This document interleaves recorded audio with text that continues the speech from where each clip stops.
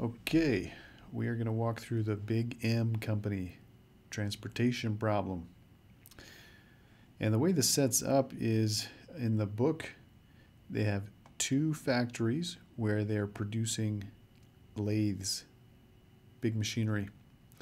And they have three customers that are purchasing these lathes. And the question is, how do we reduce our cost of transportation from these two factories to these three customers based on the needs that each customer has.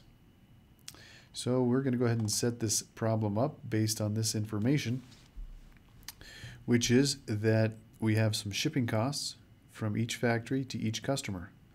$700 from factory 1 to customer 1, uh, all the way to 700 from factory 2 to customer 3. In addition, there's particular order sizes for each customer, and we're going to put those down here. So we're going to require 10 lathes be distributed to customer 1, a total of 8 to customer 2, a total of 9 to customer 3, and that our total shipped from both factories, well, 12 from the first factory and 15 from the second factory. And we're going to put those outputs here. So you notice that the operators here are all equals operators. There's no greater than or less than. They're just equals. That's one of the differences of a transportation problem is that the number shipped to each customer, the total here, which is 27, as you can see down here, is equal to the total produced by the factory. This is one of the big differences between a transportation problem and a resource allocation problem or a cost benefit trade-off problem. Once we have our Excel set up, we'll go ahead and pull up Solver and we will minimize the total cost.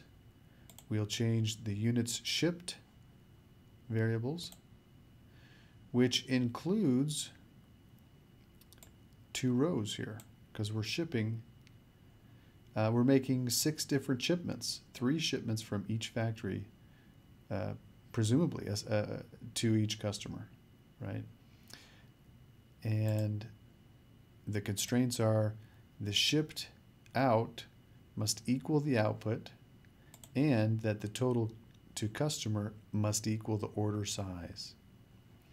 Once we have those input into solver, we run it, and we find the solution.